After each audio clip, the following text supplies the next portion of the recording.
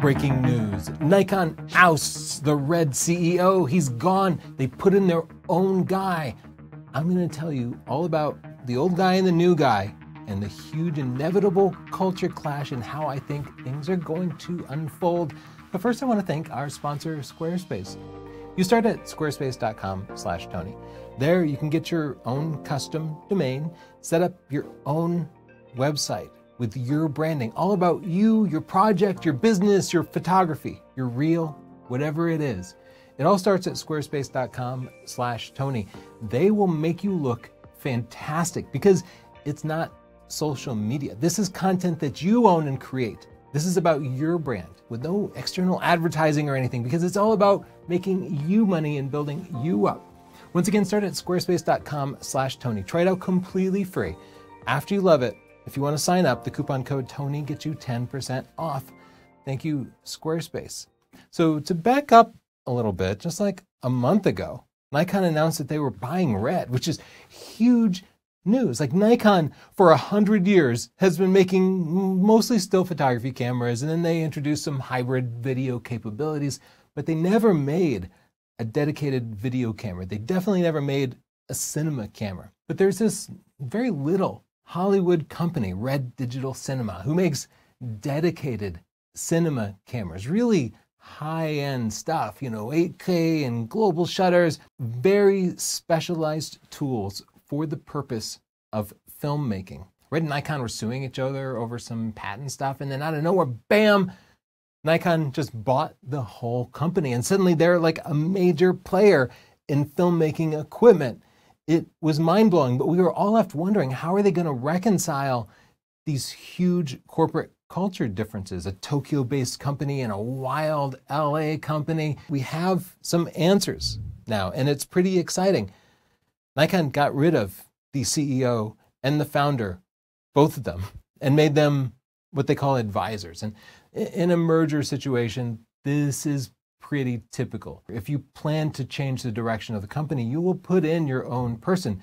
And you don't necessarily just send the former leadership packing, right? Because you might need to ask them some questions, find out where the proverbial bodies are buried, right? So you you keep them on as advisors. You give them a pretty decent salary, and that means they pick up the phone when you call, and that can make a merger go much smoother. But I want to take a second and have you meet Jarred Land, just to get a feel for his vibe. I'm the co-owner and president of Red Digital Cinema. Really what we enjoy doing is sitting down with filmmakers and designing custom cameras. This is him on the set of the latest Matrix movie where they used red cameras. What do you think of his vibe? It's like very Hollywood, right? It's like wearing flip flops and getting out of a Ferrari kind of Hollywood. Now, brace yourself for a different vibe. This is the new CEO of Red. Keiji Oishi. I'm sorry for my pronunciation. I'm an American. That's that's really the best I could do. Each of us at Nikon has done our best to improve our camera and lenses, thus enhancing overall concentration and the natural joy of shooting. It's our drive and passion in my first video about Nikon buying Red, I spent a lot of time talking about how mergers were difficult even when there weren't huge culture gaps.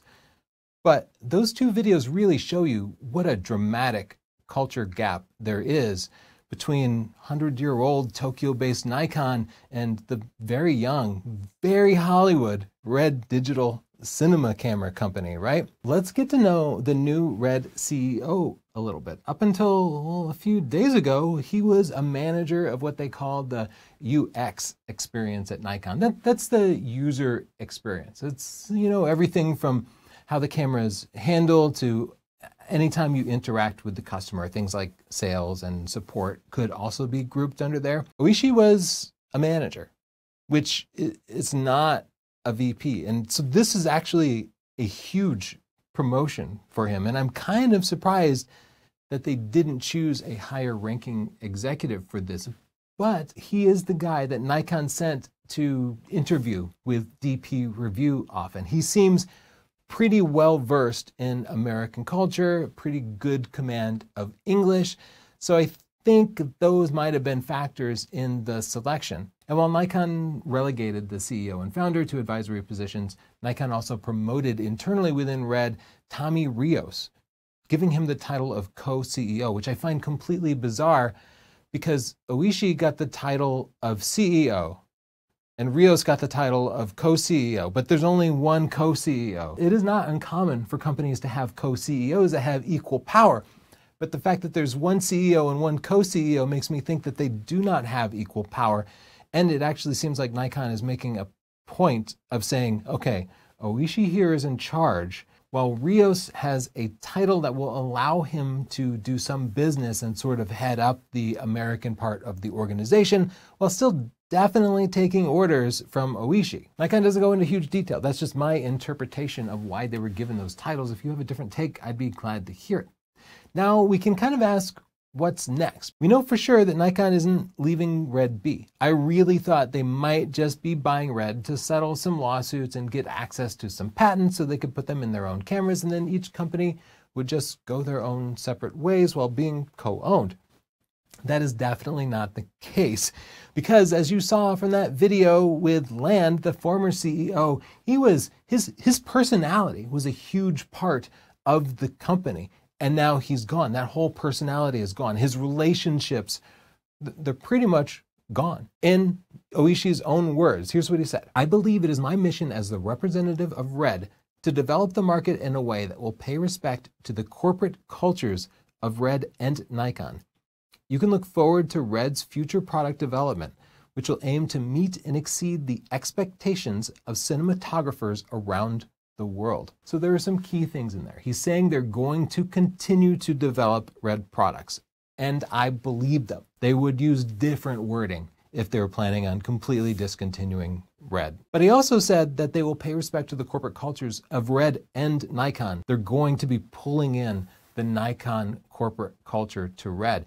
And as you saw from the two videos of the two CEOs, those corporate cultures are vastly different. We're talking about trying to mix oil and water. And if there is any incompatibility, I'm confident that it's the Nikon corporate culture that will win out over the red corporate culture. Chelsea and I had different takes on what might happen. So here's my take. I think Nikon is going to absorb red. I think Nikon will use Red's patents and technology, use it to expand their existing cinema lineup, but doing so under a new Nikon branding.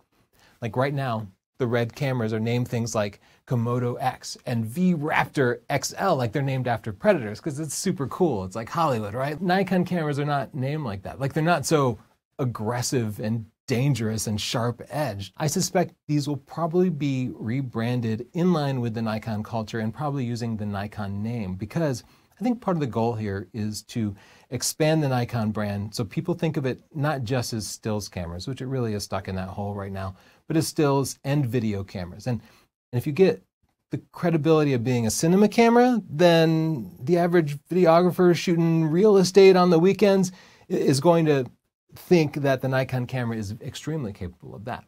So I think the new branding will be something like the Nikon ZR1. and maybe not that exactly, but I think they'll lead with the name Nikon.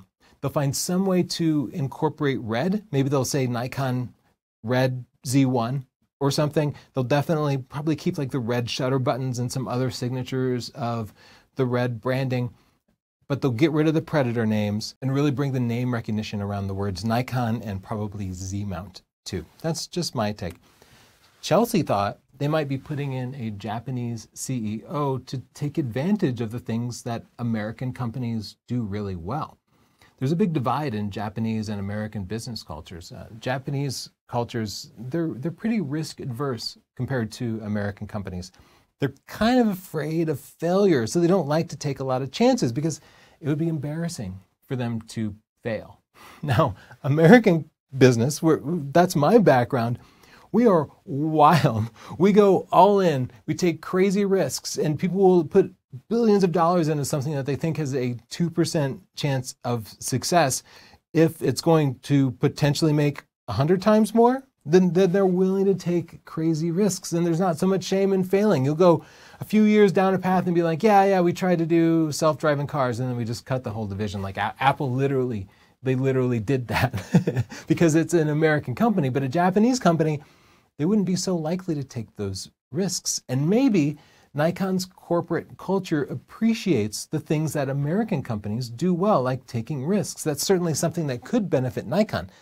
So by putting in a Japanese CEO who is pretty comfortable with American culture, maybe they could use that American team to do things like um, imp- improve the software on Nikon cameras.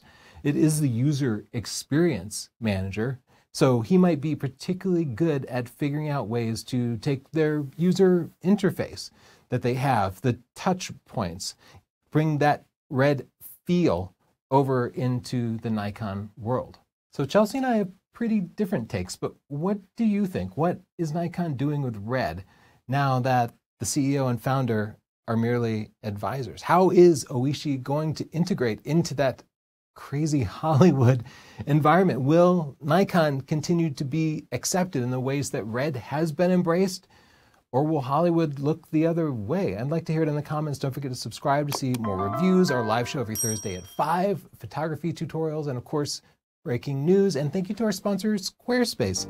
Start at squarespace.com slash Tony, where you create a website for your photography, for your video reel, your restaurant, your dentist's office, whatever you do, Squarespace gives you your own custom domain. They make you look great with professional designs that are maintained and secure and broadly compatible and all this nerdy stuff that you don't have to think about because that's what they do. And no, it's not completely free, but it's inexpensive and you can try it out for free at squarespace.com slash Tony. You'll love it and you'll get what you pay for, right? But it doesn't have to cost you that much because the coupon code Tony can save you 10%. I promise it's worth it. Thank you, Squarespace. Bye.